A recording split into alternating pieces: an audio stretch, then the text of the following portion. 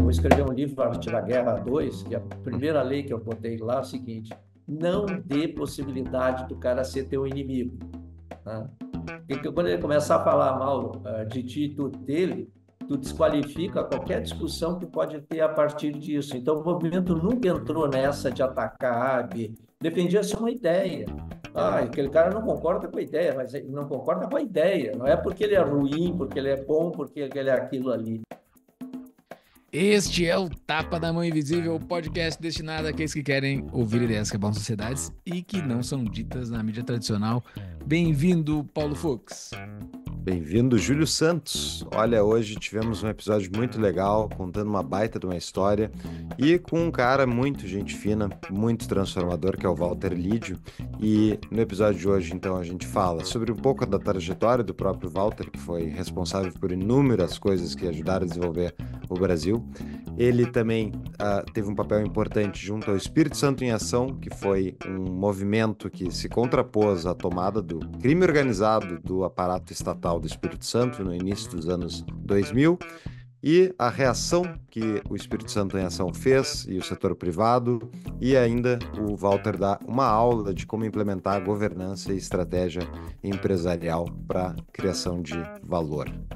Baita episódio mesmo, episódio histórico, a gente vai ficar citando ele por vários tempos aqui no Tapa, eu acho, porque ficou bem interessante. Ouçam com atenção. O Walter Lídio Nunes, engenheiro porto-alegrense com especializações em gestão e tecnologia, possui vasta experiência no setor florestal e de celulose desde 1973, com passagens como CEO na Aracruz Celulose e CEO na CMPC Celulose Rio Grandense. Agora integra o conselho de administração da empresa. Participante ativo em diversos conselhos e movimentos, incluindo o Movimento Espírito Santo em Ação e Transforma RS. Atualmente é vice-presidente do último. Uh, recebeu o Prêmio Libertas no Fórum da Liberdade, entre outras distinções. Uh, e se você é um empresário está ouvindo o Tapa da Mão Invisível, tem várias coisas que você pode fazer, mas uma delas é, se você precisa de um parceiro financeiro para as suas tomadas de decisões estratégicas, eu, Júlio, aqui do Tapa, estou disponível para trabalhar com você para as tomadas de decisões estratégicas da tua empresa. Possibilito que você foque no seu negócio, enquanto a minha empresa, o executivo financeiro, foca no seu financeiro estratégico, utilizando de melhores práticas de mercado e com decisões baseadas em fatos e realidades da tua empresa. Envie um e-mail diretamente para mim, julio@executivofinanceiro.com.br e marcamos uma conversa de uma hora que eu conheço a realidade da tua empresa e você entende o meu método de trabalho. Muito bem, e eu recomendo o trabalho do Júlio como executivo financeiro. E pessoal, para quem está acompanhando conosco os nossos episódios de livro, se preparem que logo mais vai sair o episódio, vai vir o episódio A Ética da Liberdade, parte 2 do Murray Rothbard para você comprar o livro e ler ele conosco para ficar melhor ainda o episódio para você, é só entrar nas notas do episódio que estão na descrição desse, uh, seja do YouTube, seja do aplicativo de podcast que você usa. Entra lá, tá no nosso site as notas com as referências do episódio de hoje, dica de livro do convidado e link da Amazon para você comprar qualquer coisa e a gente ganhar um rebatezinho. Acho que é isso, Júlio. Vamos para o episódio? Bora! Seja muito bem-vindo ao Tapa da Mãe Invisível, Walter Lídio Nunes. É um prazer estar com vocês aí. É uma satisfação saber do propósito de vocês e a gente fica muito satisfeito em estar integrando. Maravilha. Para quem não conhece o Walter, e eu quero aqui, em nome do Rio Grande do Sul, agradecer o Walter por deixar registrado. O Walter foi a pessoa que liderou o processo que trouxe o maior investimento da história privada do Estado, que foi o investimento da CMPC em Guaíba, uh, na casa de 5 ponto, eu não me lembro quantos milhões depois, era 5 alguma coisa, vários milhões, bilhões, né, Walter? Bilhões. É, 5 bilhões, bilhões e, e... Qual, qual o valor exato? É, tu pode converter mais facilmente em dólar, né? Era um, mais de 1,7 bilhões de dólares. Então, é tu multiplica aí. por 5, a gente vai ter o valor. e que gerou uma transformação enorme na cidade, na comunidade aqui à volta. Então, uh, muito obrigado, Walter, pelo trabalho que tu fez. Hoje o que a gente vai contar uh, é um pouquinho da tua história junto ao trabalho desenvolvido no Espírito Santo, mas que serve como exemplo, a meu ver, para o momento que o Brasil passa, onde a gente precisa reformar as nossas instituições. Então, para começar e situar a nossa audiência, Walter, conta um pouquinho da tua história aí, que é uma história de muito, muito sucesso profissional. Então não dá para, não vai dar para contar tudo, mas conta aí o que tu acha mais importante para quem não te conhece ficar sabendo quem tu é. Bom, é, basicamente formei engenheiro e aí precisei estagiar para complementar-se o curso, que era importante. E aí entrei no estágio da Beauregard, que era do setor. Adorei o setor, porque eu tinha formação em engenharia mecânica e também engenharia química e por aí vai. Aí eu resolvi entrar em, atrás de uma fábrica em implantação, e a maior fábrica do mundo que estava sendo implantada naquela época era a fábrica da Aracruz Celulose, no Espírito Santo. Aí é, consegui ser selecionado a nível nacional para essa vaga e fui para lá. E era basicamente uma fábrica com transferência de know-how da Suécia e da Finlândia, que eram os maiores envolvidos, no tempo que nem licença ambiental tinha no país, se obedeceu aos melhores critérios ambientais do mundo e por aí vai.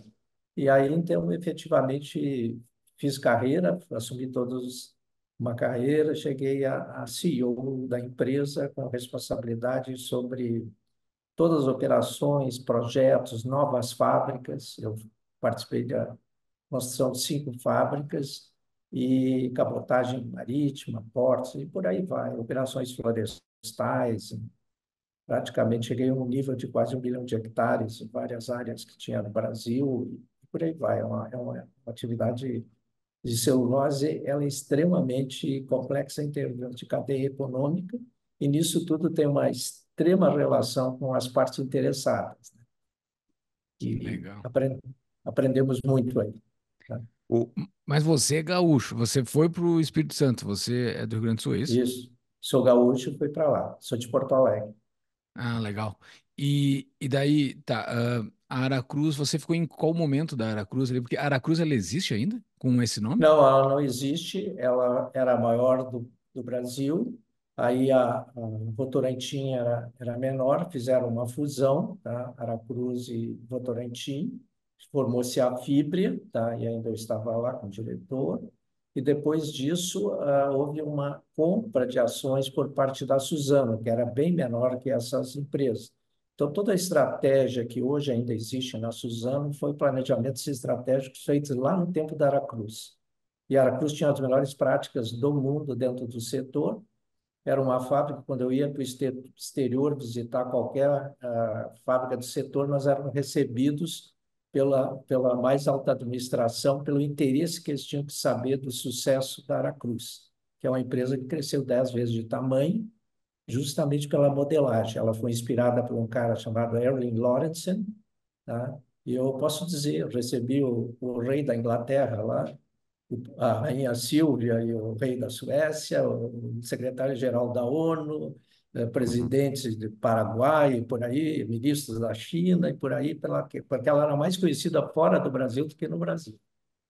O brasileiro que não é do ramo de negócios, assim, talvez possa não identificar o que é Aracruz. O que, eh, tem na casa de um brasileiro, o que, que tem na casa de um brasileiro que é feito pela, pela Aracruz ou pela Suzano? Por essa empresa? Uh, uh, na verdade, o que tem? A, a celulose é uma matéria-prima que é transformada em inúmeros materiais que vão desde de, os papéis higiênicos, a, papel de imprimir, escrever, é, todos os papéis sanitários, por aí vai, inclusive em até algumas outras funções. E, futura, e já tem agora desenvolvimento para outros, inclusive de celulose, hoje pode se fazer, ou se fazia também até, como se diz, tecidos, tá? que são feitos, tipo rayon, é tecido que é feito de um tipo de celulose, que é uma celulose chamada solúvel. Hum, interessante. E, então, hoje ela participa de medicamentos, de cápsulas, e e até algumas salsichas. Tem papel é. na salsicha, então. acaba aparecendo celulose ela, ela é uma, é uma, é uma coisa, e aí tem inúmeros produtos, e a Suzana também faz papel ticho, aqui também se faz papel de imprimir e escrever, papel desses aí. Então, ela está dentro da sociedade. E, e a, a empresa de celulose, ela exporta muito da celulose para fora do Brasil? O Brasil é o maior exportador, é o, tá, o maior exportador do mundo pela competitividade. E o Brasil desenvolveu uma tecnologia no eucalipto, que foi a Aracruz que desenvolveu, que se chama hibridização controlada e propagação clonal. Eu misturo as espécies de eucalipto, tem mais de 600 espécies e subespécies, e eu consigo fazer fusão das propriedades e gerar novos clones. E depois que eu faço uma árvore que me interessa por vários critérios, eu consigo propagar ela de maneira clonal. Posso fazer um bilhão de árvores iguais. Tá? Hum. Então, essa tecnologia é, foi desenvolvida por ela. Ganhamos o prêmio do Maracruz Marcos Wallenberg, dado pelo rei da Suécia, e fomos a primeira empresa do setor privado, de centro de tecnologia de empresa privada, a ganhar isso. Então, a empresa é uma referência. Esse modelo no Brasil tem uma alta produtividade. A Finlândia era baseada no setor de papel e celulose, tem 70% prático do país com florestas, tá? E, e a, a, produtividade, lá só para citar, ela está de 4 a 6 metros cúbicos sólidos por hectare, e no Brasil, no sul da Bahia, nós tínhamos áreas que produziam até 60 metros cúbicos. Meu, Meu Deus. Deus do céu. Então, com isso, nós geramos o desemprego, a, a fechamento de empresas no hemisfério norte. Muitas fecharam porque não poderiam mais produzir celulose no mercado. Ou elas adicionavam algum valor no que produziam, ou só como celulose de mercado eles não poderiam mais participar. Tá? E isso gerou muitas reações internacionais de ONGs e tudo que nos atacaram aí, que pouco o Brasil sabe disso, tá? É, para tentar nos limitar aí em termos de crescimento. E o Brasil, com isso, se expandiu nesse setor. Esse setor foi uma inspiração de pessoas como Eliezer Batista, os militares acreditaram muito nesse setor, tá? E aí saiu o Senibra, saiu Aracruz, saiu outras empresas desse setor todo, aí a própria Votorantim e tudo cresceram. E hoje o Brasil domina o mercado celulose de mercado mundial. E, mas duas, dúvidas aqui. O quanto o câmbio uh, desvalorizado influencia a capacidade de exportação do Brasil? Tipo, enfim, a nossa liderança. É, obviamente, né, tu tem um hedge em câmbio, né, porque no Maracruz, por exemplo, nós exportava 97% do que produzia, né? e efetivamente o câmbio, mas a nossa lucratividade era muito grande, entende?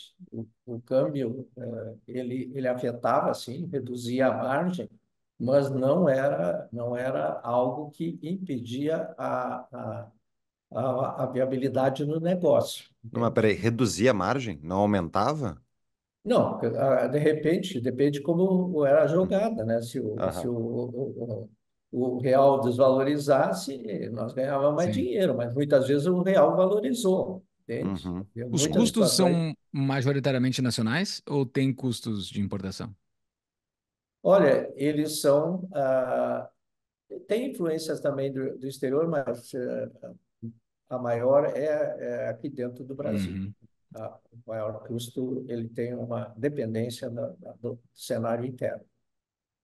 E a então, outra a venda, do... a venda que está correlacionada, então, com a desvalorização. A, a, a, venda no mercado externo é commodity. Né? Sim, é, sim. Então, tem uma, uma disputa interna, e aí a competitividade é um fator, porque muitas fábricas, quando o preço caía, o preço mundial da commodity caía, muitas fábricas no hemisfério norte, o custo de produção não, não pagava o preço de mercado.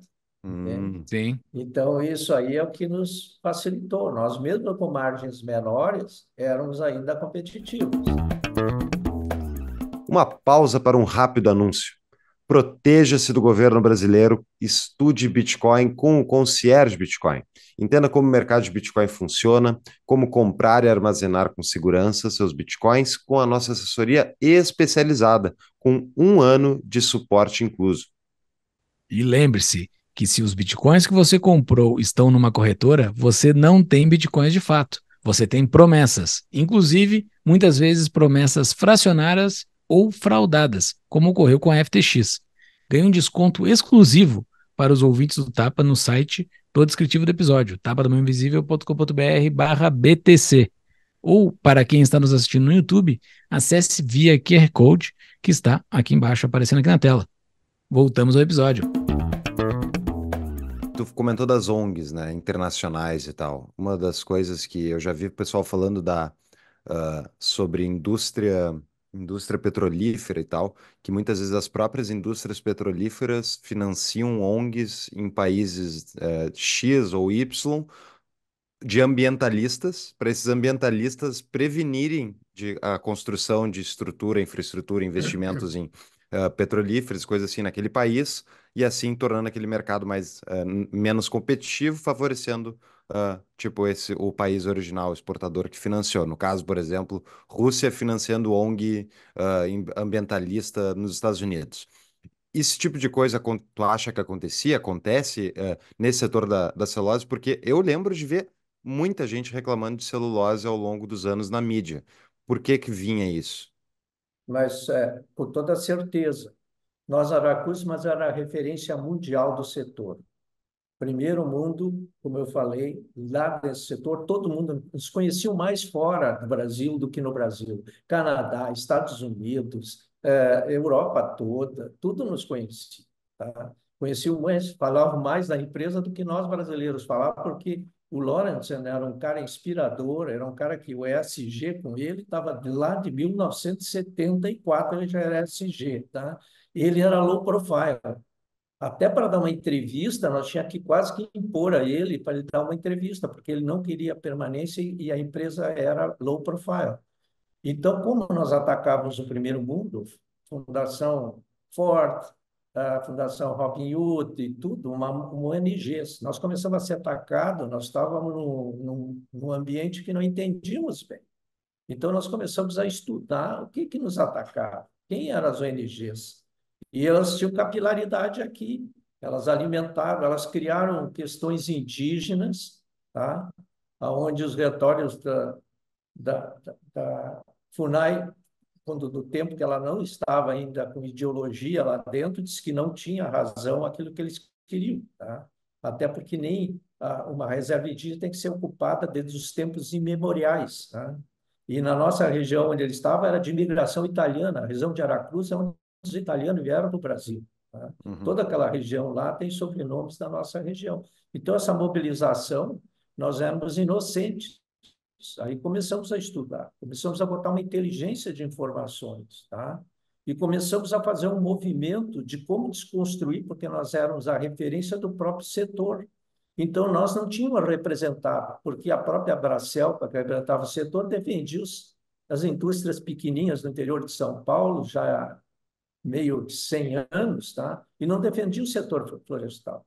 Então, nós começamos a construir um movimento de representação do setor e fizemos uma reunião com os principais fornecedores para desmistificar o eucalipto, desmistificar os mitos do eucalipto. Ah, o eucalipto seca a terra. Não é verdade. Batata consome qualquer dessas coisas que tu come muito mais, o eucalipto é mais eficiente no uso da água e menos em. Ah, é planta exótica. Aí nós dissemos assim, os coqueiros da Bahia são uma, uma beleza, né? Toda aquela Bahia, todo o nosso Nordeste, coqueiro é a beleza. Vocês sabem que eles vieram da, de Goa, da Índia, que eles não são nacionais. Tu sabe tudo o que tu come. Então, a empresa começou a trabalhar a, a sociedade. Nós trabalhamos, nós tínhamos... A Aracruz, assim, ela sempre buscava sempre as referências mundiais. João Elkington, aquele lá, que teve com nós uma semana para nós discutir relações com as partes interessadas, como tu muda a relação com a sociedade? Isso tu tem que construir. Nós trabalhávamos um conceito que se chamava na época, hoje até está tá se popularizando a palavra, licença social para operar o negócio. Tá? Então, tinha construído toda essa relação com, a, com, as partes interessadas. E aí desmistificar o que eles falavam do eucalipto, todos os absurdos. Tanto que o eucalipto hoje já tem uma imagem diferente. Aí se fundou, inclusive, se formou a Bracelto, tá? Hoje é o IBA, tá? até o, quem lidera o IBA foi o governador do Espírito Santo, que inclusive com eles nós levamos para o exterior, nós levamos política para o exterior para ver o que é a importância do setor florestal nos países do primeiro mundo, tá? uhum. para desmistificar isso. Aí uh, o Ministério, a Civicultura estava dentro do Ministério do Meio Ambiente, o Ministério do Ambiente é um, não é um Ministério de Desenvolvimento, é de limitação Aí nós estamos em 13 países onde o setor é expoente de primeiro mundo, inclusive tem países que tem o Ministério das Florestas, né? uhum. e por aí vai, entende? Então, é, é, as articulações vocês nem imaginam, eles fantasiavam gente de índio e levavam lá na frente nossos clientes da Europa. Eles pressionaram o, o, o príncipe Charles, a, a, a, família da Inglaterra a vender nossas ações, a, a família da, da, da, da Suécia também a vender uhum. nossas ações, eles eram nossos acionistas, tanto que nos visitaram lá. Uhum. Pois é, então, isso Exato. talvez para quem está nos ouvindo aí não, e não, não conheça muito, quando a gente fala de empresas tão grandes, que nem o caso da Aracruz, que nem a CMPC, outras do tipo, eh, são indústrias que faturam bilhões de reais e elas têm, eh, geram tantos empregos, geram tanto de imposto, que elas são um alvo, ao mesmo tempo que elas têm que navegar, de certa maneira, os mares governamentais, né? Não tem muito como não, como ignorar o governo e tocar sua vida, porque uma hora o governo vem até vocês, né?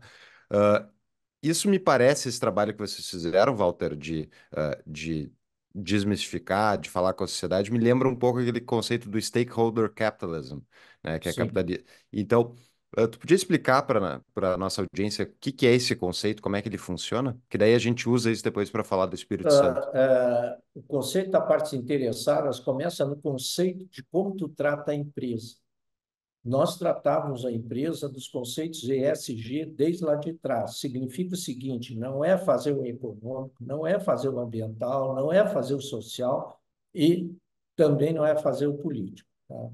É conceber uma cadeia econômica aonde tu otimiza os aspectos econômicos, sociais, por uma integração holística.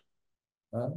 Então, nós desenvolvemos cadeias econômicas, se chamava cadeias econômicas inteligentes, tá?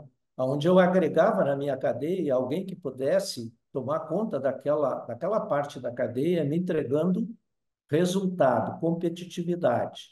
Nós não contratávamos por custo, nós contratávamos por resultados. O resultado é ganho menos custo. Se ele maximizava as metas de, de ganho, eu poderia pagar mais caro para ele. Então, eram contratos com, com prazo e tinha um indicador, só para falar da cadeia, de aderência global quanto cada empresa integrada na minha cadeia era aderente à cadeia, numa maneira, visão globalizada, porque o primeiro mundo, a Procter Gamble nos perguntava qual é o rebatimento da etnia local há muitos anos atrás, hoje já é mais padrão, já virou uma realidade, mas há 20 anos atrás não era. Qual é o rebatimento da etnia local nos teus empregados? Então, esse indicador avaliava o plano de negócio da empresa, a eficiência na, na competitividade, se ela buscava competitividade através de ideias para uh, inovar aquilo que ela me fornecia com, com aumento do desempenho, redução dos gastos, etc. Como é que ela geria as pessoas? Como é que ela se desdobrava a questão ambiental na sua, na sua parte da cadeia? E quais os programas sociais que ela integrava de desenvolvimento da região? Isso entre os indicadores. Uma vez por ano eram avaliados. Tá? e tinham uma meta desses, dessas empresas todas. Com todas essas, então nós geramos num, num ambiente que não tinha empresas, só tinha grandes empresas estatais, nós geramos mais de, de 70 empresas com projeção nacional e internacional. Empresa de três caras faturando, sem trabalhar para o governo, mais de um bilhão de reais. Isso é desenvolvimento. E são várias assim. O jato da Embraer, aquele cargueiro, o ar-condicionado dele foi gerado por uma empresa que fazia a manutenção por desempenho de ar-condicionado de parede. Tá? Então, as, as empresas eram induzidas quando e elas começavam 100% dependente e tinham cinco anos para reduzir em 30% a dependência para que tinham que ir ao mercado, porque só ficar afiliado a mim não botaria à exposição do mundo. Tá? E aí eles faziam isso quando eles foram nas outras empresas, primeiro do setor, ninguém sabe, ninguém exigia aquilo que nós exigíamos, tá? Então eles ganharam mercado rapidamente por esse por esses conceitos, daí expandiram para outros setores e tudo. Então isso está na área de informática, está na área de florestal, está na área industrial, está em todas as áreas administrativas, condução de projetos e tudo isso. Então com isso nós desenvolvemos uma cadeia E essa cadeia ficou, uh, foi toda uma referência. Então, isso é tal da licença social, conceber teu negócio para desenvolver o econômico, social e ambiental integrado. Então, as decisões eram monitoradas por esses conceitos todos. Botamos cabotagem marítima para reduzir as emissões, porque nós tínhamos mais de 150 num trajeto, mais de 150 caminhões, é, tritrem, não é bitrem, tritrem transportando. Nós removemos Boa isso por cabotagem marítima, conectando Caravela, sul da Bahia, a Porto Céu, que é o maior porto exportador de celulose, que também era, era da empresa, 51% da empresa. E por aí vai. Todas as cadeias eram desenhadas assim. Tá? Então, uh, todo mundo que trabalhava para nós também ficou com esse mesmo conceito. E isso aí não era nenhuma obrigação de fundos internacionais, era porque vocês enxergavam isso uma maneira de agregar valor para o negócio. Isso vinha a inspiração do Lawrence, que sempre nos dava, nós éramos uma empresa em que nós tínhamos uma, uma que se chama subordinação autônoma. Nós fizemos um grande planejamento estratégico, qual, qual seria essa empresa, a Cruz, os metas que ela atingiria, qual era a posição no mercado mundial, de que forma, e nós tínhamos autonomia para exercer isso. Então, nós desdobrávamos essa ideia em toda a nossa cadeia aí, o tempo todo. Por isso que eu digo, Lawrence era ESG lá atrás. Tá? Então, nós aprendemos muito como é que tu trabalha comunidades. Não adianta, às vezes, só a boa intenção. Nós tivemos que treinar todo o nosso grupo, junto com a ideia do Elkington, que ele teve com a gente, que eram os processos de engagement. Como é que tu faz o engagement? Engagement não é, é não é uma coisa assim, todo mundo fala engagement, duvido que se faça o engagement. Primeiro que todo o nosso cara, em todo lugar que estava qualquer liderança, do nível mais baixo, ele era tinha uma série de comportamentos. Primeiro, eu sempre digo, tinha uma série de regras. Eliminar da conversa o ser abstrato. Tá?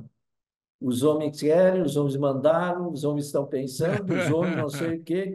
Como é que tu faz engagement desta forma?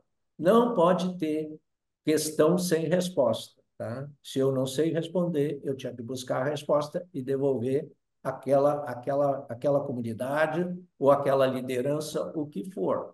Então, isso nós uh, fazíamos. Nós tínhamos programas de fomento florestal, que é os pequenos produtores produzindo madeira. O que a gente fez? A gente botou uma série de externalidades na relação. Meu cara não era só fazer a plantação da, daquela parte do eucalipto. Nós ensinávamos economia rural, utilização do solo, botava uma série de coisas integrada naquele cara, naquele engenheiro que relacionava com o cara. Então, nos dava mais assistente. De novo, está dentro da cadeia do como tu desenvolve uma cadeia ESG. Entende? Então, isso se repercutia em inúmeras situações. Aproveitamento. Ah, menor aprendiz. Como é que tu usa isso? Ah, era um negócio. O que, que nós fizemos? Vamos pegar todas as empresas dos menores aprendizes, vamos fazer um pool de menor aprendiz e vamos pegar público de uma comunidade tradicional em situação e vamos transformar essa comunidade, em vez de fazer ações dispersas. E botamos empreendedorismo com Junior Achievement lá, adensamos as cadeias da comunidade tradicional, que era de pescadores, né? Desenvolvemos eles, sistemas de cooperativa e por vai, vai é, é, e, inclusive usando como menor aprendiz é um expediente legal, entende? Sim, sim. Tu é obrigado a cumprir, mas muitas vezes é mal usado. Com certeza. Aliás, no passado faziam cursos de administração, de preencher documentos, a gente botou cursos técnicos para eles, tá? Para os menores aprendizes. Então, eles caíram tudo no mercado. E aí criamos um conceito com outras empresas da universidade para todos, e o que nós praticávamos era contabilidade. Não é só botar o cara numa sala de aula. O que acontece com a jornada de vida daquele cara que eu tenho? A minha meta é melhorar a jornada de vida. Então, nós acompanhávamos até ver o cara entrar na universidade como ele seguia lá, entende?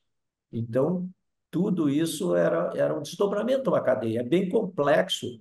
Sim. Tu tem que pensar isso holisticamente o tempo todo, e não é só uma pessoa. Tu tem que formar toda a equipe pensar dessa maneira, porque todos eles têm interfaces, decisões a tomar e tudo, que se não tiver, não é o Deus lá em cima que consegue transformar isso que eu falei numa realidade. Perfeito. Que legal. Isso tudo, isso tudo no Espírito Santo, né? Essa toda boa parte no Espírito Santo. É, é, basicamente a empresa ela começou lá, entende? E tudo isso ela começou transformando as suas regiões. Ela estava no Espírito Santo e, e sul da Bahia. Então, ela transformou regiões. Por exemplo, eu vou citar um exemplo. Nós tínhamos que fazer um viveiro, duplicar o viveiro, que já tinha o maior viveiro da América Latina, em Aracruz, vamos duplicar. Me trouxeram o projeto, eu pensei um pouco, pô, eu tenho 40% numa base florestal na Bahia. Por que, que eu não vou levar esse viveiro para lá em vez de desenvolver ele aqui? Claro, o aspecto técnico é muito simples. Vai do lado do que tu já tem, é, é Uhum. mais simples. Nós fizemos um viveiro com áreas ambientais, uh, formamos a mão de obra para construir ele, formamos a mão de obra para operar e transformamos na unidade de Elvésia. Tá? Uh, e tudo isso trabalhado com a comunidade. Então, tu vai em Elvésia, hoje é completamente diferente do que era antes desse viveiro. Então, esse viveiro transforma, tem áreas sociais, desenvolvemos junto com as lideranças lá, que são muito, inclusive lideranças negras, mas muito focadas na educação, tá? Elas até as lideranças até eram pós-graduadas em Salvador na área de educação. Desenvolvemos projetos de biblioteca pública lá, eh, áreas de treinamento informática e tudo, e, e sem grandes custos, porque os computadores naquela época eram computadores velhos. Sim. Os livros da biblioteca eu mandei construir é, no, lá no comprar no sebo de São Paulo, me deram. E uma coisa que a gente aprendeu também nessas funções, que a coisa mais difícil quando tu lida com comunidades é dar alguma coisa. Hum. Tu tem que, no engagement, tu tem que construir o pertencimento. Uhum. Então, na IELVS, eles queriam uma, uma, essa biblioteca, uma instalação da biblioteca, e, me, e eu falei, tá, qual é a ideia? Me trouxeram uma planta do que eles queriam. Aí o que, que eu fiz é o seguinte, olha, faz o seguinte, eu acho que essa planta tá boa, mudei ali só um pontinho, tem uma coisa, vamos fazer um acordo. Eu dou o material e vocês constroem. E esse tem um tremendo pertencimento. Tu vai lá hoje, é tudo limpinho, organizado, porque eles são donos, se sentem aqui. E eu tenho experiências na vida que a gente deu tudo, tá? E o negócio está lá parado, decaído, porque nem era o, o, o coisa que eles não. É, Sim, tava deu nem uma aí. ideia de querer, mas não, não ficaram com aquilo. Uhum. Tem- Não, Não não, não se sente dono, não tem valor porque eles não, não se envolveram com aquilo. Tá? Sim. Caiu de paraquedas que eles pediram e pronto. Uma breve pausa na nossa programação. Eu, Paulo Fux, procuro empresários interessados em entender os números do seu negócio, se defender do Estado brasileiro dentro da lei, aumentar a rentabilidade da sua empresa. Meu foco é ajudar você a se proteger do Brasil e a crescer o seu negócio.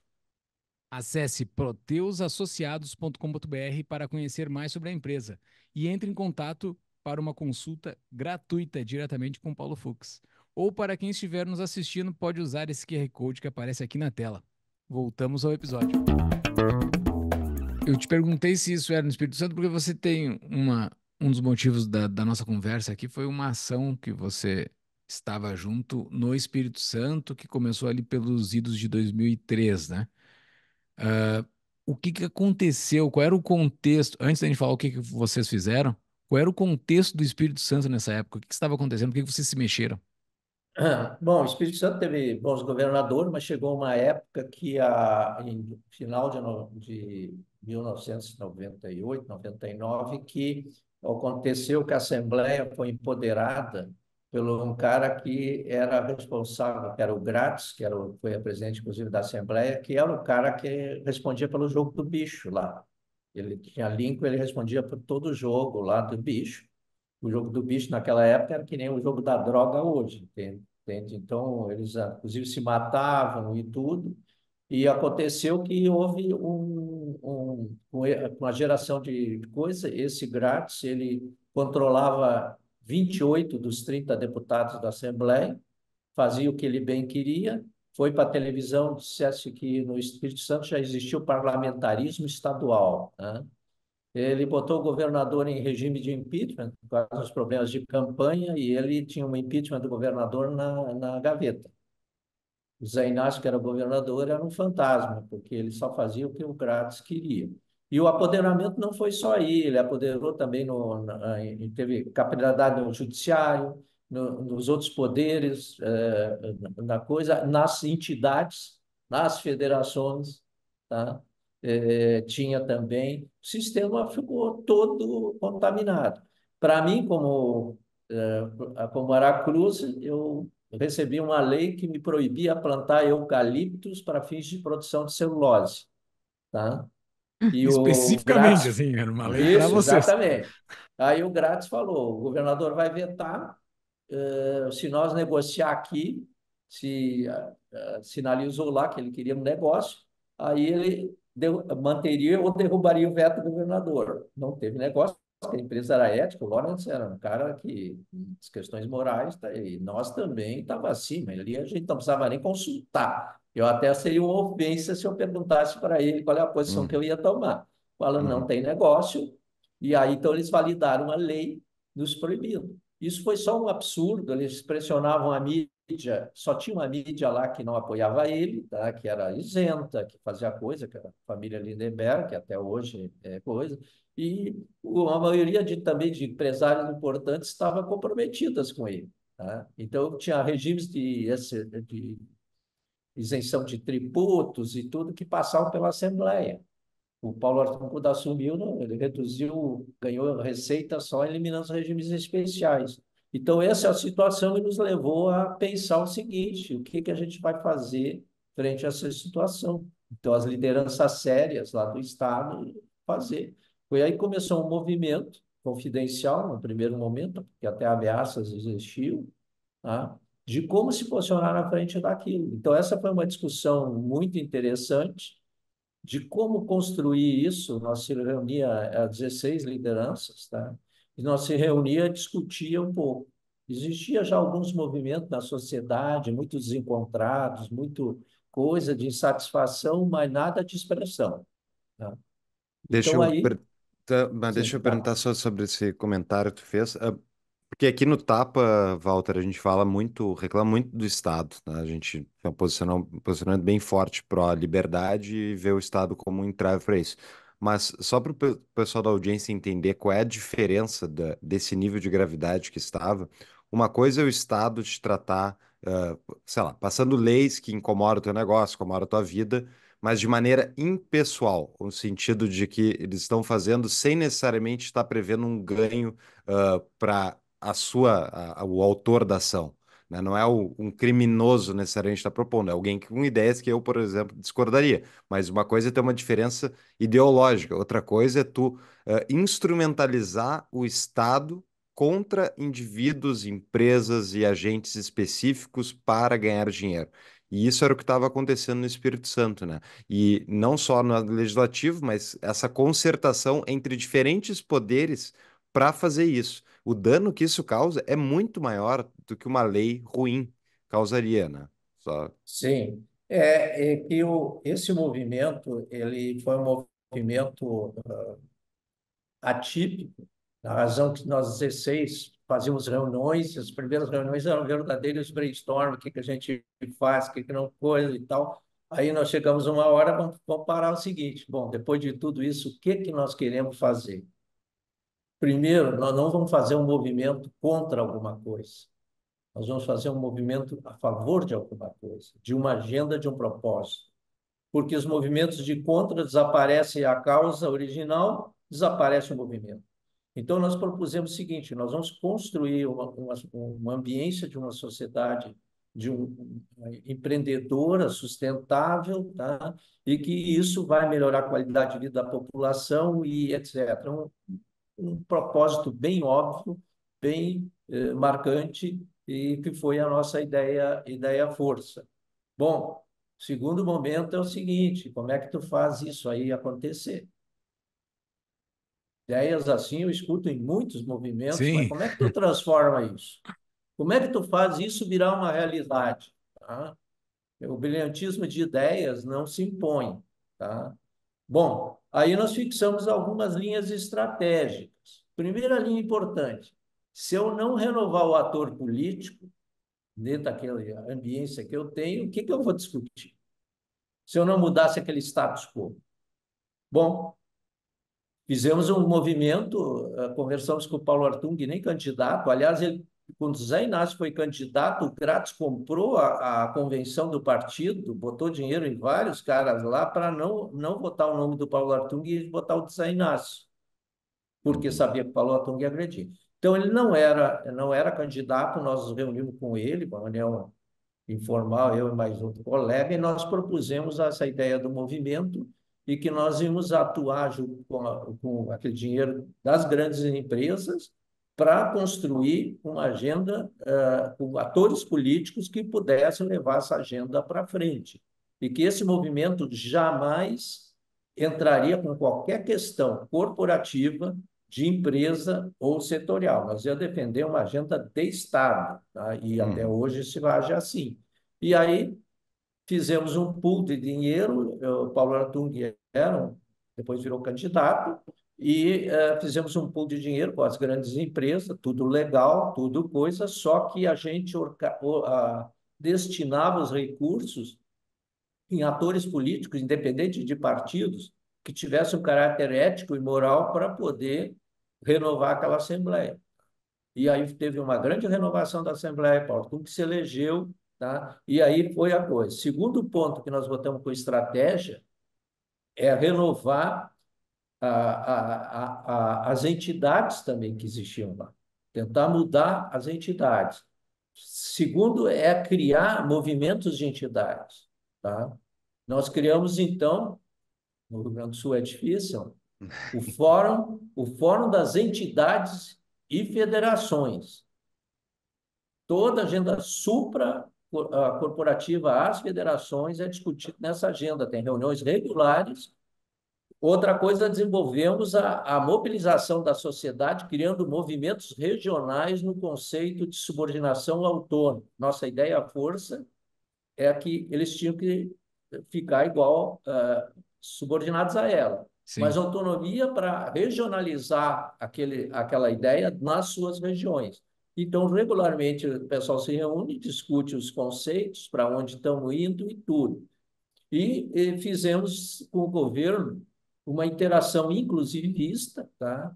e que o, nós ajudávamos o governo, não donos da verdade, mas donos de uma articulação nas agendas de movimento e criamos uma agenda de Estado, com articulação governo e sociedade, se chama Espírito Santo 2025, que virou 2030, e hoje é 2035 ou ES 500, tá? Hum. que é uma agenda que tem a sociedade, governo, tudo na coisa. Outra coisa que a gente sempre procurou ser é não ser protagonista.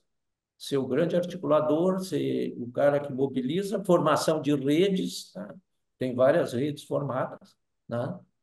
E, e, com isso a gente conseguiu efetivamente fazer. E tem mais algumas ações também com desenvolvimento de lideranças, criamos líderes do amanhã, eh, eu, eu quero perguntar mais, mais, profundamente sobre isso, mas eu queria voltar um ponto antes, ele falou das empresas, porque uma das coisas mais difíceis que tem é tu conseguir fazer a coordenação e fazer o agente, o empresário, se mexer, sair da, do casulo da empresa, se envolver, seja com a sua entidade ou com outras do tipo, e entender a importância disso. Porque se tu vai vir meia dúzia de pessoas aí na rua, eles vão dizer, ah, não faz, não faz diferença, não importa, não, não, não, não tem porquê tu fazer isso, não vai ser bem sucedido. Isso a gente ouve muito de empresários também, meio, sabe, é apocalipse e agora é isso. Como é que vocês conseguiram convencer esses empresários a se mexerem, Walter? Bom, existem alguns fatores. Um é a cultura do Estado do Espírito Santo e outro é a situação. Quando a situação foi tão grave, todo mundo disse: olha, nós temos que pensar nisso. A, a meia crise não, não mobiliza ninguém. Hum. Tá? Meia crise não mobiliza. Mas a crise era tão, tão grave, tá? o Grátis a, a, a, rasgava até negócio do, do, oficial de justiça, ele rasgava na frente da televisão, disse que isso aí não tinha nada a ver, que aquilo não entraria ali e tal e tal. Então, a crise era toda absurda. Segundo, que o Espírito Santo é um estado em que eu, como gaúcho lá, O capixaba aqui não ia fazer esse movimento no, no, hum. no, aqui, aqui ia ser açoitado em praça pública. É, é, exatamente. Então lá o pessoal é muito trabalha muito pela convergência. Uhum. Aqui nós gaúchos nós somos muito críticos, tá? Nós uhum. começamos sempre a discussão Trabalhamos pela, pela divergência. Nós, exatamente. nós, trabalhamos, nós trabalhamos pela reclamação. No uhum. Espírito Santo, eles, eles são muito, uh, eles aderem muito à ideia do que tu propõe para frente, tá? Uhum. Eles não ficam, eles não ficam presos no que tu está fazendo até aqui. Se a ideia para frente é melhor do que é um passo na direção que é melhor de onde eu estou, ninguém discute o que eu, onde eu estou. No Rio Grande do Sul, inclusive dentro da empresa, eu escutava horas de explicação por que, que eu estou aqui, tá? Uhum. E não do que eu posso, para onde eu posso ir. Tá? Hum. E lá tem uma tremenda facilidade para discutir aonde tu pode ir. Entende? Então, a, a, a, as revisões e tudo isso é importante. E lá também a gente fez todo um suporte financeiro do movimento. Nenhuma empresa poderia se propor a, ser mantenedora do movimento, tá? a não ser por convite, porque a gente preservava os valores éticos e morais. E tinha muito empresário que estava lá no jogo. Então, se não botasse qualquer coisa, o empresário que tem, e nenhuma das empresas mantenedoras tinha direito a aprovar nada dentro do movimento. Ele tinha um conselho que a gente chamava consultivo, e a gente ouvia, dizia para onde as coisas iam, mas só consultivo, não tinha nenhum valor de dizer, eh, e no quando a empresa passava por convite a ser mantenedora, todos esses compromissos estavam lá, é, expressos nessa relação, porque senão tu deterioraria o movimento, e o movimento permanece hoje, está é, é, tá fazendo 30, fez 30 anos, tá? Então, isso é outra coisa que a gente também tinha seminários estratégicos internos para nos readaptar ao movimento, aos cenários, à evolução das coisas, porque senão o movimento já teria desaparecido. Tá? E que muitos movimentos eles desaparecem porque o sucesso de hoje é a razão do insucesso de amanhã. Uhum. Então, esse tipo de articulação lá é, é, diferente. No Rio Grande do Sul é mais, muito mais difícil isso. A gente aqui tentou várias iniciativas no sentido de botar a gente junto, formar rede, que nem nós formávamos no Espírito Santo. Tá? E, e, então, lá também a gente entrou com várias linhas táticas. Uma são as estratégicas, sentava com o governo, articulava apoio, levava em discussão para a sociedade, reunia as outras entidades para criar âncoras sociais e políticas a movimentos de interesse da, da agenda do Espírito Santo 2025, 35 e ações que desdobravam disso. Então, com isso, a gente é, é, procurava contribuir o tempo todo com o Estado. Então, entramos com o eixo tático da educação, criamos o conceito escola tempo integral, que hoje a discussão já está aí, mas lá atrás não era, é, de, de escola viva. Ensina, olhamos metodologias no país de sucesso, tá? em vez de recriar uma, fizemos umas, uma, uma, uma composição e criamos a escola viva que ensina o indivíduo desde o início da entrada na escola a empreender a sua jornada de vida. A primeira discussão, o que que quer ser na vida? E depois toda a, a jornada dentro da escola eles relacionam com o objetivo de vida. Isso contribui, isso não contribui, isso aqui tu tem que rever e tudo. É um ritual permanentemente. O, estudo, o Espírito Santo estava lá embaixo, melhorou muito. A escola de tempo integral está sendo levada também para os municípios, tá? E, e, e, feito. Então, fazemos vários movimentos táticos uh, uh, que, que contribui para o Estado. Inclusive, hoje trabalhamos muito a transparência, desenvolvendo lideranças uh, locais. Então, o nosso Líderes do Amanhã, ele não fica muito metro, metropolitano. Tá? Eu sempre uhum. falo que ia estar muito metropolitano. Eles começaram a desenvolver nas regiões, porque a coisa começa nos municípios, para melhorar a qualidade da política. Tá? Então, começamos também a desenvolver lideranças eh, eh, nos municípios para tentar. Eh, trabalhamos ameaças que o Estado tinha, tá? de grande prejuízo para o Estado, criação do Parque Nacional Marinho de Santa Cruz, que iria do norte do Espírito Santo, da, de Vitória até o, a, quase Abrolhos, tá? e, e pior que todo mundo assinou a favor, não sabiam Hum. que o Parque Nacional Marinho era a unidade mais restritiva, e inclusive os pescadores assinados, e se o parque é criado, eles não pescariam mais. Aí nós trabalhamos, articulamos sociedade, Ministério Público, conseguimos, como empresa, até fizemos estudos provando que aqui não tinha coisa. Então, várias coisas se trabalhava, a lista é enorme, se eu entrar nela. Sim, não, perfeito. Uma breve pausa para uma propaganda especial. Nós do Tapa nos preocupamos em ofertar somente patrocinadores validados e sérios. Graças à ampliação do número de episódios, estamos agora com um espaço disponível na nossa grade. Se você tem interesse em uma audiência diferenciada e nacional, o Tapa é o programa para você anunciar. Temos patrocinadores de muito tempo que atestam. Patrocinar o Tapa vale a pena. Caso você tenha interesse em saber mais, nos envie um e-mail contato arroba tdmi de tapa do meio invisível.com.br. Se você está ouvindo esse anúncio, o seu cliente também pode estar ouvindo. Voltamos ao programa. A questão aqui são níveis diferentes, né? Tu tem o estratégico, o tático e daí o Isso, operacional. Isso. É. Ah, no estratégico em si, tu, tu não mencionou até agora nenhum líder ou, ou chefão e tal, porque vocês tinham uma filosofia diferente. Como é que é que tu enxergava esse, essa composição estratégica para garantir que o negócio não ficasse pessoalista? Ah, primeiro que nossa, a direção do movimento, o conselho, todo mundo era com ah, subordinação ao autor, tá? É, então, nós agimos, se eu ia num fórum, eu falava, se o outro ia lá, eu falava, porque nós estávamos tudo integrado, alinhados nas nossas ideias.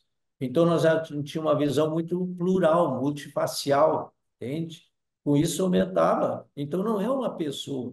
Uma pessoa é, é o modelo lá que vem lá do, do rei, entende? Tá? Uhum. Nós eliminamos os conceitos que nós desenvolvemos, que quando nós discutimos movimento, nós discutimos uma série de coisas que eh, eu não vou entrar porque são coisas de, entre aspas, de recursos humanos, tá? Uhum. Tá? Como é que tu, que competências tu precisa para ter uma direção no movimento? Como é que ele tem que se comportar?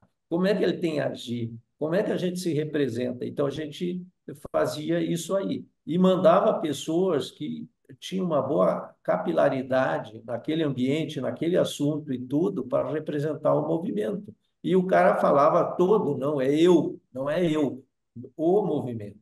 O movimento era a palavra de ordem e não existiu nenhuma liderança ali que monopolizou a, a, a esse movimento. O estratégico fica no conselho deliberativo, o tático fica, vamos dizer, no, em quem está presidindo o movimento, mas com interação, não é uma, não é uma estratificação isolada. Tá? Uhum. E ali temos os eixos táticos das, da, da visão estratégica que a gente decide desdobrar. E a gente tem, nesse ponto, ser muito mais um indutor do que um fazedor.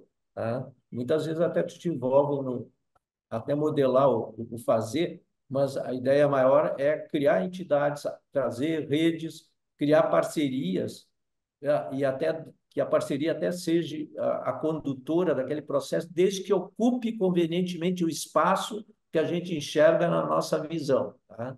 Se alguém ocupar aquele espaço, não, não interessa o nome, sobrenome, se ele cumprir aquilo ali, tiver capacidade para desempenhar, ele vai ser apoiado naquilo ali. Então, a gente trabalhou o tempo todo essa, essa, o foco no resultado, na visão e no resultado, e compondo uh, entidades, lideranças e tudo para uh, atender aquilo ali. Uh, no Rio Grande do Sul, a gente valoriza muito a, a personalidade. Eu estou em, em algum movimento, todo mundo pergunta isso aqui dá para provar, aquilo ali dá para fazer. Eu, eu vou dizer uma coisa, Uhum. eu, eu fico muito preocupado porque lá não tinha isso. Tá? Uhum. Uhum. Mas o, e os políticos, Walter? Porque uma parte central dessa, eh, desse movimento foi a interação com a política, a renovação com a política e tal. Como é que foi lidar com eles, que têm interesses muitas vezes próprios, muitas vezes sempre têm interesses próprios, né? E como é que vocês conseguiram coordenar com eles para eles apoiarem a ideia? Eles têm interesse, eles têm visão, isso aí é absolutamente normal, isso não é nada Uhum. qualquer negócio. O problema básico é a capacidade de interatividade, tá? Como é que tu interage continuamente com eles, tá? Primeiro, que eu não posso começar a xingar eles. Eu tenho que sentar, eu tenho que ter empatia. Eu não posso constar a agenda do contra. Já disse que a primeira coisa tem que ter uma agenda a favor de alguma coisa. Eu tenho, eu vou escrever um livro, Arte da Guerra 2, que a primeira lei que eu botei lá é a seguinte: não dê possibilidade do cara ser teu inimigo. Né?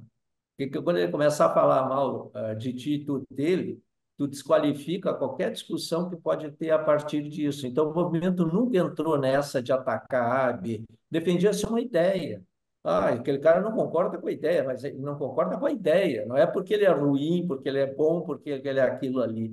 Se quando tu começa a personalizar as coisas, tu desqualifica a agenda, entende? As discussões. Então, nós éramos chamados em várias situações, inclusive transição de governo, e o Paulo Arthur estava lá depois, o Renato, tem umas, uh, apesar de dar uma continuidade da agenda, mas às vezes com visões um pouco mais à, à direita, mais à esquerda. Então, muitas vezes nós éramos chamados para compor a, as diferenças que estavam tendo, se crescendo para evitar uma, uma ruptura e, com isso, prejudicar a agenda de desenvolvimento do Estado. Então, mas nós tínhamos respeitabilidade e credibilidade um nos chamar e dizer, ah, nos ajude porque eu não estou gostando disso. Nós vimos no outro, olha aqui, isso aqui tem que ver, ele talvez tenha um ponto aqui para nós contemporâneos, vamos achar uma solução.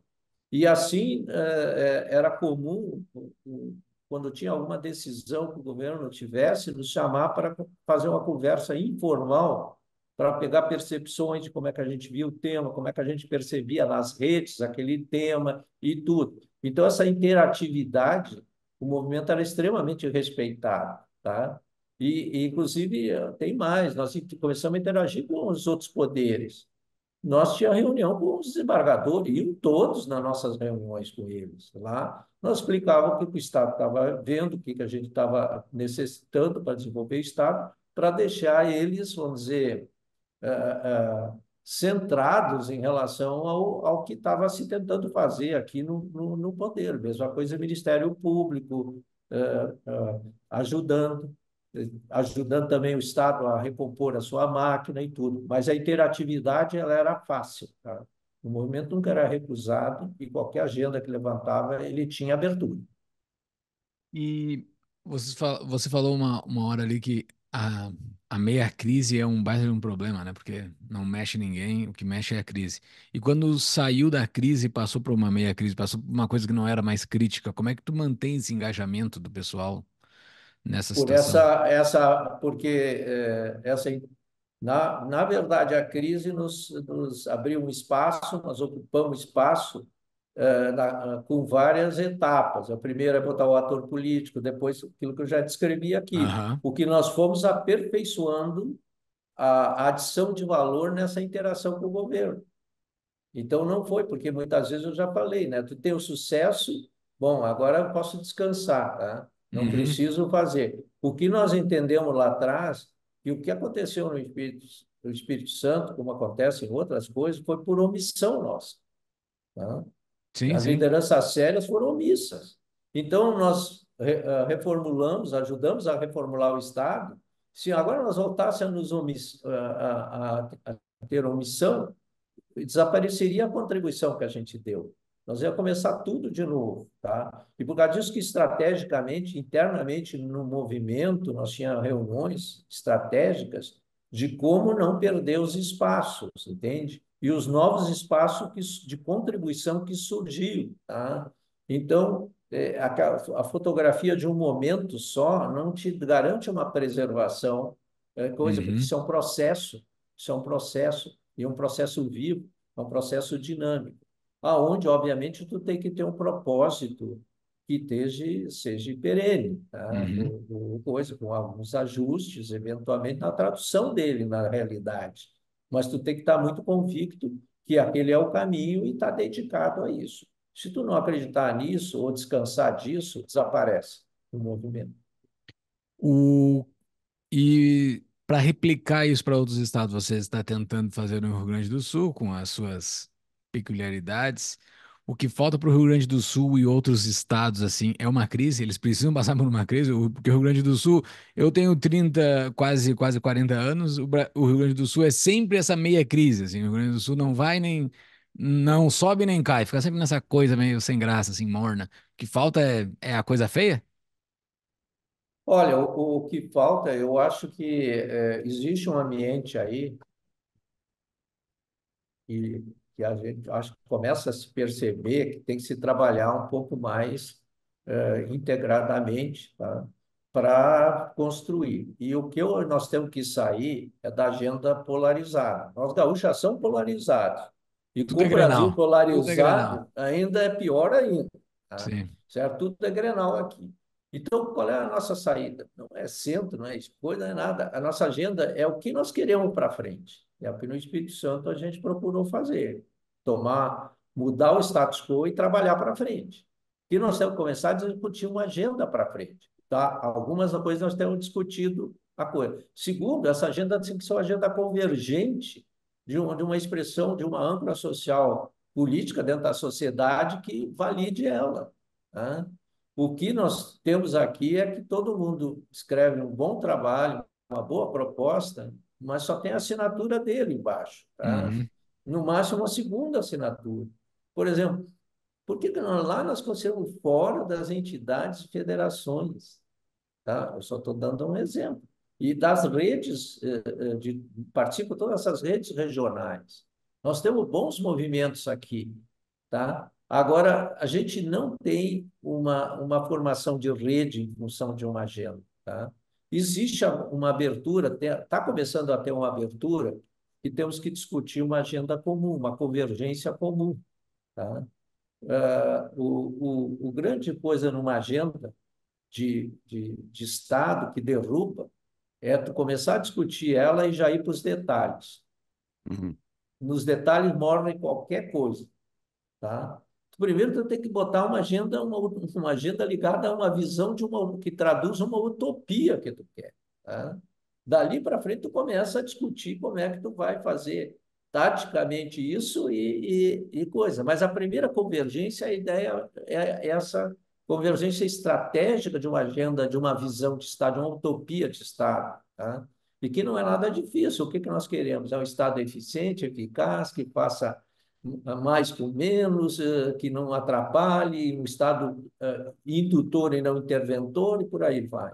O que que tu quer? Uma ambiência empreendedora para tu poder alavancar a economia como uma forma de reduzir desigualdades sociais, etc. Precisamos uma rede de serviços públicos, etc., que melhore a qualidade de vida e tu tem que ter um ambiente político. São eixos básicos que tu tem que trabalhar para ter dentro da sociedade.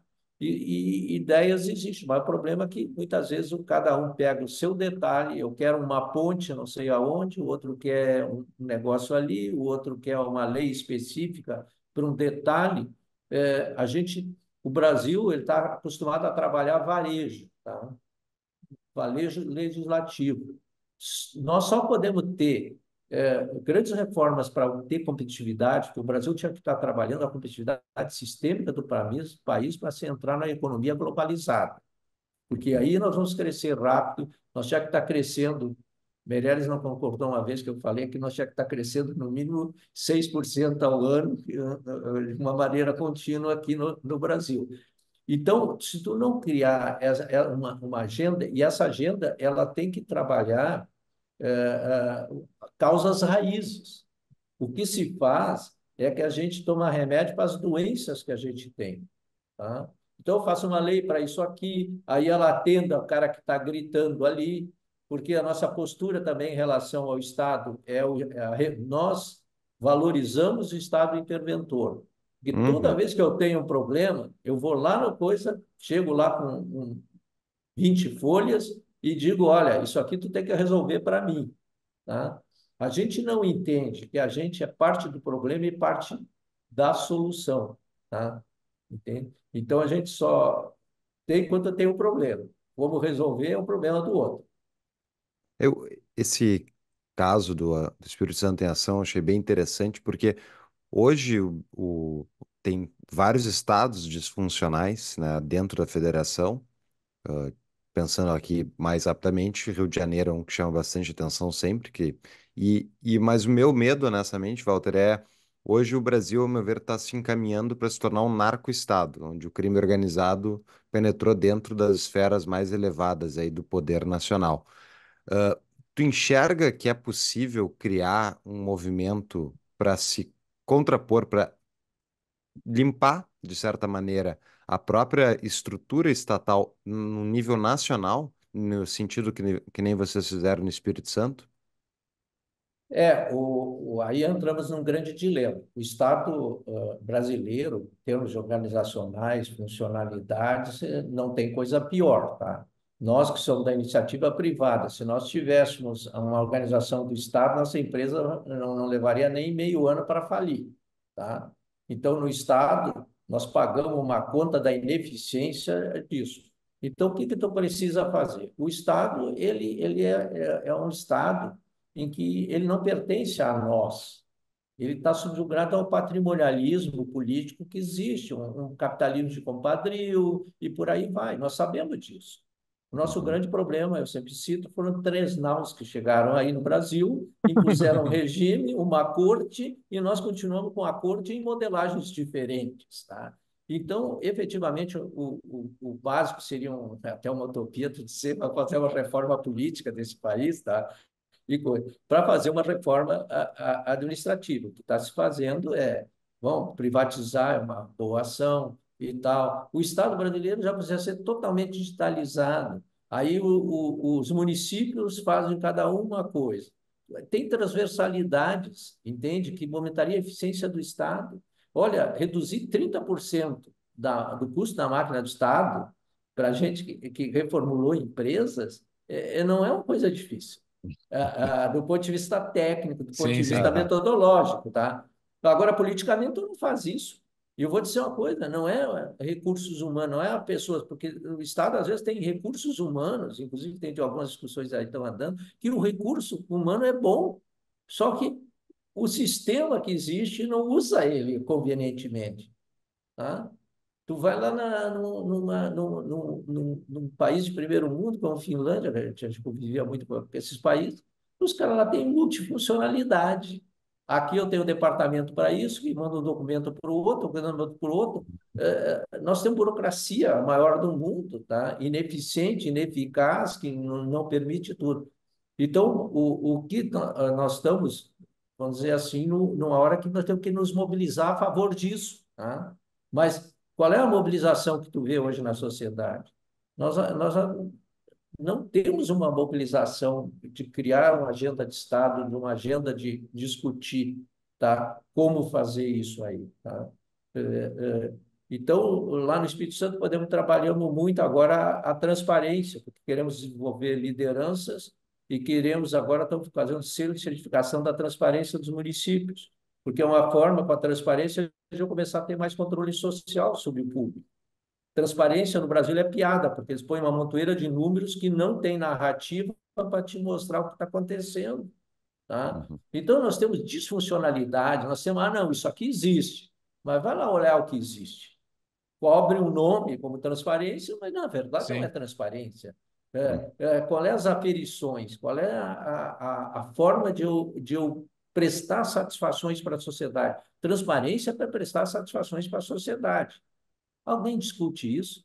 Cria-se um movimento, transparência, que a gente até usa, tem metodologia, mas eles não têm âncora social política, porque nossas lideranças criam um movimento, mas não dão uma âncora social política, tá? de como fazer é, essa coisa. Se nós não, não, não botar as lideranças em favor de uma agenda de desenvolvimento, como eu falei, de uma visão de construir o país que nós queremos, sair dessa polaridade, nós não vamos fazer.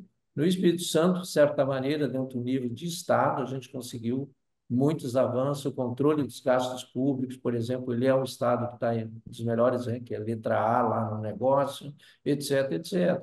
Mas houve um compartilhamento, uma coisa, não é o Espírito Santo em ação sozinho fez, não é um movimento, foi a, a ancoragem. Agora tem que ter um, um, que a gente chama de alguns núcleos duros, que tem uma capacidade de formar essas, essas mobilizações aí. Tá? Só que daí tu precisa ter uma convergência numa ideia mínima. E isso está muito difícil ainda de se conseguir no Brasil e com a polarização, tá? Ficou pior ainda. Tá? É impressionante hoje, tudo, essa polarização, né? Hoje, tudo que tu fala, o primeiro julgamento que ó, qualquer um faz é de que lado tu está. Não é, não é o, o, o valor do que tu está dizendo, a contribuição que tu está levando. Eles querem saber qual é o direcionamento que tu tem para dar aquela contribuição, entende?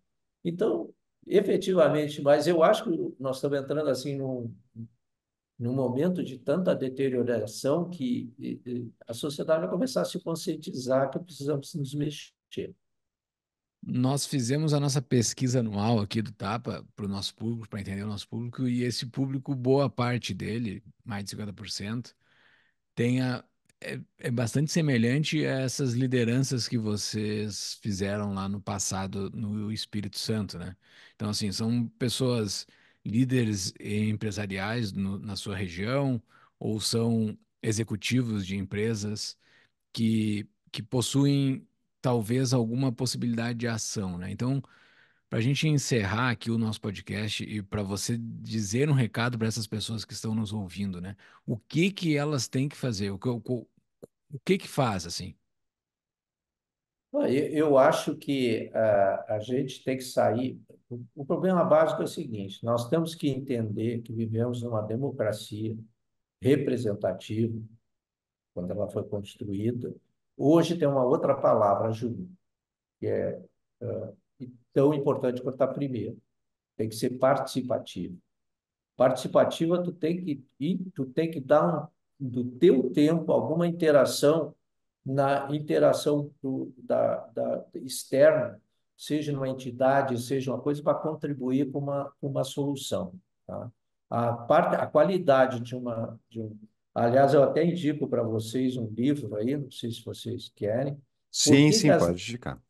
Por que, que as nações fracassam? Um livro de 2012, o do Espírito Santo começou antes disso, tá? Do, porque as nações fracassam no debate. A, que a, a, um país depende muito da qualidade das entidades que ele gera, que ele constrói. Se há uma dominância do extrativismo ou do inclusivismo, tá?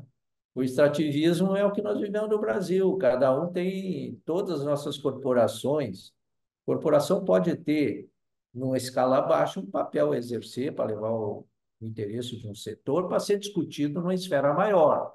Mas, normalmente, as corporações já estão discutindo na esfera mais alta as decisões. Então, são entidades extrativistas. O que nós temos que criar, como o Espírito Santo é, a ação é um movimento inclusivista que procura mobilizar de uma maneira inclusivista as entidades formando a rede de desenvolvimento do Estado. Tá? Então, eu acho que eh, no Brasil, no Rio Grande do Sul, inclusive, temos muitas entidades que, se nós eh, que elas explorassem mais o seu abordagem inclusivista, tá? de uma maneira mais unificada em tudo, nós, nós poderíamos eh, ter uns outros resultados aqui. Tá?